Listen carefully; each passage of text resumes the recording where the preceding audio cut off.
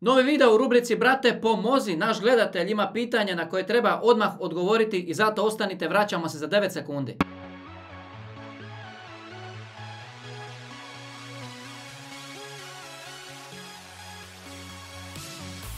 Pratite kripto teme, kriptovalute, zanima vas cijeli ovaj svijet, a još niste pretplatnik ovog kanala? Mislim da je pravo vrijeme. Dolje kliknite, pretplatite se. Hvala vam najljepša, ovdje donosimo najnovije vijesti iz kripto svijeta, pratimo što se događa svakodnevno i bit će mi drago da nam se pridružite na ovom putovanju. Svakodnevno nas je sve više ovdje. Napomena mojim dragim gledateljima koji su članovi kanala, večeras u 8 sati, znate i sami, sve ste vidjeli, mislim da će biti jedan legendarni stream, tako da ko ima volje, ko ima vremena, nećemo, nećemo dugo. A sada nastavljamo sa Brate pomozi videima. Ako niste gledali prošla videa, pogledajte, ova rubrika postaje sve zanimljivija. I ako vi imate neke probleme, što god vas muči, dolje u komentar napišite. Čim stignem, čim uhvatim malo vremena, snimit ću neki video da i vama pomognemo da riješimo i vaše probleme. Zato smo tu, zato služi ova rubrika. Naš dragi gledatelj postavio je jedno zanimljivo pitanje. Zašto ne možeš kupovati kripto u Hrvatskoj preko Visa kartice? Mislim da se ovdje ne radi o tome da u Hrvatskoj ne možeš kupovati kriptovalute preko Visa kartice.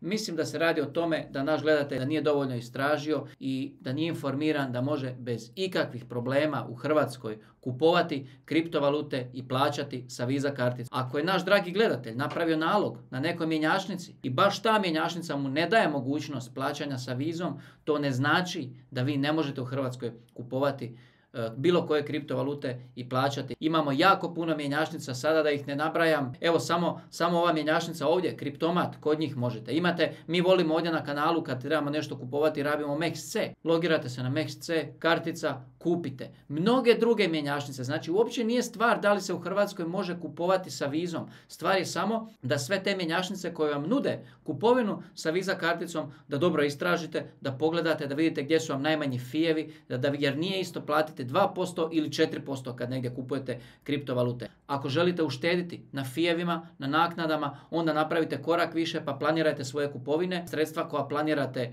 uložiti u kripto, e onda ta sredstva prebacite na mjenjačnicu, možda je puno bolje preko SEPA transfera i tako ćete uštediti određen dio novca i nećete plaćati fijeve pri svakoj onoj naknadi koju plaćate kada plaćate te kriptovalute sa karticama. Ako imate situaciju da vam vaša banka brani, imamo i takvih slučajeva, to ne znači da je u Hrvatskoj nemoguće kupovati e, kriptovalute pomoću Visa kartice. To znači da vi trebate samo promijeniti banku. Danas tržište sve diktira. Prošla su vremena kad su diktirale banke, kad su diktirali veliki. Ako vam vaša banka ne dozvoljava transakcije prema kripto mjenjačnici, dobar dan, poštovanje, trebao bi svog bankara, ja želim zatvoriti račun u vašoj poslovnici.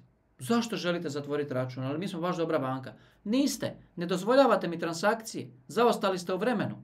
Ja idem u drugu banku, u banku koja mi dozvoljava kupovinu kriptovaluta. Hvala lijepo, doviđenja. Nadam se da je ovaj video bio od pomoći. Bilo je nekoliko novih videa i noćas i jutros i svakako svašta. Ispratite, pogledajte šorceve, pogledajte druga videa u 8 sati večeras ako ste član kanala. Mislim da ne želite propustiti live stream. Vidimo se.